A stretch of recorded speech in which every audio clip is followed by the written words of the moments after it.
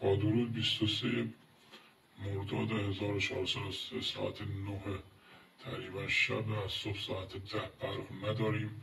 ارومیه منطقه اون روز من کلیپ فرستاده بودم. الان نزدیک ده روزه که اینطوری برخا هر روز دارن قطع میشن. مواد غذایی توی یخچال فاسد میشه.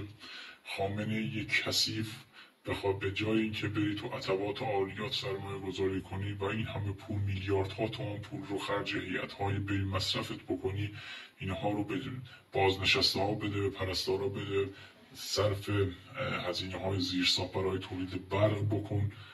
چهل سال پول ایران رو خرج عطبات می‌کنن و تو اون طلاهایی که می‌برن برای زریها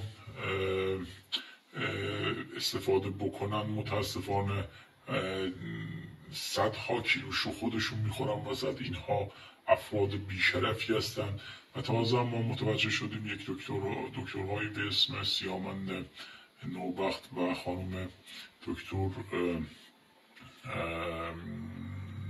تارا حبیبیان تصادف با 206 کشته شد. اگه ماشین های درست حسابی بود ایران مطمئنا این تصادف شاید با یک جراحت پایان میافت. ولی متاسفانه ما مردم ایران برای گرفتن همین ماشین ها سر و دست میشکنیم و همیشه این قضا یعنی ایران خودرو و سایپا اگه حساب بکنید بیش از شاید دو میلیون نفر ایرانی رو کشتن که در هیچ جنگی تا حالا این همه آدم تو ایران کشته نشده بود.